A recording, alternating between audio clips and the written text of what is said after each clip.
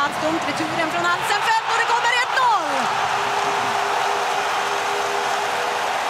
Zachrisson som ligger bakom det. Det är Wenström och Knut med jobbet framför Alsenfelt.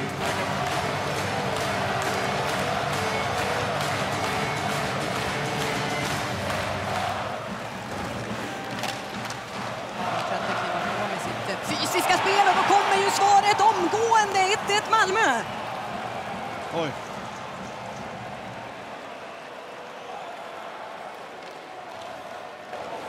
Det där läget, nummer 72, släpper för Jensen Åbo. Där är Björk. Det är fint spelat för Händemark och då kommer ledningsmålet och det är eh, Fredrik Händemark som skjuter 2-1 till Malmö.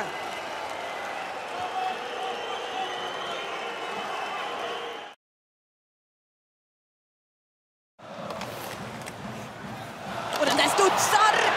Oh, och blir en drömmöjlighet för André Hult. Tanken var ju att lägga den i runden för Lang. Jensen tappar pucken till Rittola. Mattias Rittola har med sig Zackrisson! Och Oskar Alsenfelt klarar. Wow. Oj, vilket läge Patrik Zackrisson får att göra sitt första mål i Leksandströjan. Ja, skoja inte.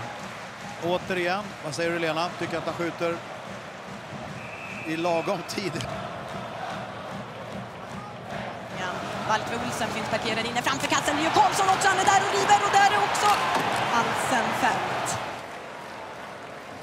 Men oj, vad nära det är för Martin Karlsson och det är inte så långt bort för Linus Persson heller.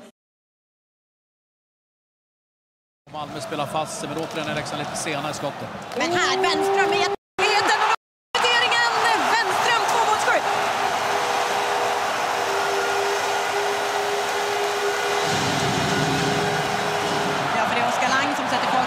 Ja, för det är Oskar Lang